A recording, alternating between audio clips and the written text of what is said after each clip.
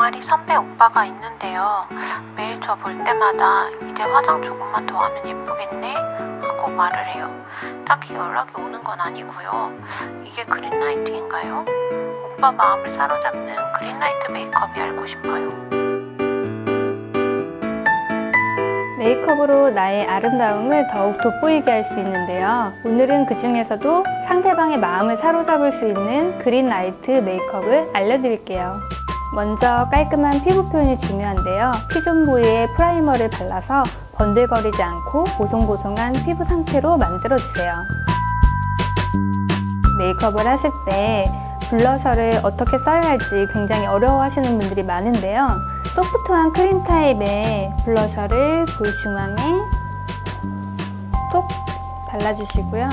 손가락을 이용해서 톡톡톡톡 펴발라주세요. 볼에 쓰셨던 크림 타입의 제품을 입술에도 똑같이 사용할 건데요. 입술 중앙 부위에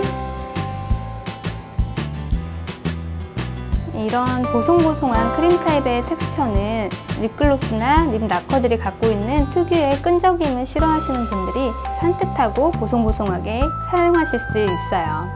볼터치와 립이 마무리된 다음에 이번에는 파운데이션 단계로 들어갈 건데요.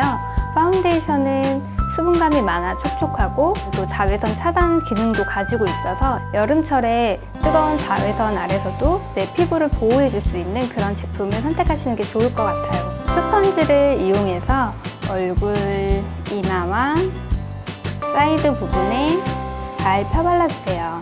조금 전에 했던 블러셔 부분은 제외하고 코, 양 옆볼, 눈 밑에까지 펴발라주시면 돼요. 크림 블러셔와 파운데이션의 경계가 져 있는 부분이 눈에 보이실 수 있거든요. 그럴 때는 라텍스를 이용해서 경계를 조심스럽게 펴발라주시면 마치 내 피부에서 자연스러운 혈색이 올라온 것 같은 블러셔 연출을 하실 수가 있어요. 점점 땀이 많아지는 계절이 다가오는데요. 집에 갖고 계신 콤팩트를 이용해서 헤어 라인을 따라서 자연스럽게 발라주시면 머리카락이 얼굴에 붙는 것을 막을 수 있어요. 속눈썹 예쁘게 올리시고요. 뷰러로 속눈썹을 올린 후에 gold pearl이 가미된 coral 계열의 섀도우로 눈가에 은은한 반짝임을 주도록 할게요. 이미 볼터치랑 lip으로 포인트가 갔기 때문에 너무 과하지 않은 은은한 컬러로 살짝만 펴발라 주시도록 하시면 돼요.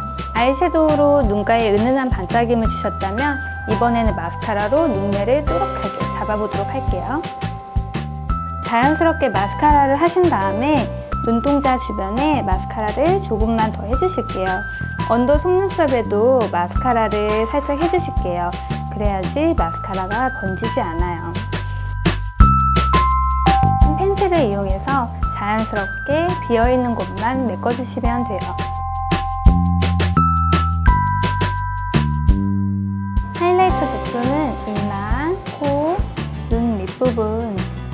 자연스럽게 펴발라주시면 얼굴이 더 작아 보일 수 있어요. 그리고 하이라이터 제품으로 깔끔하게 입술 선 주변을 정리하실 수 있어요. 네, 이대로 메이크업을 완성하실 수도 있지만 입술에 반짝임을 조금 더 넣어서 볼륨감을 주도록 할게요.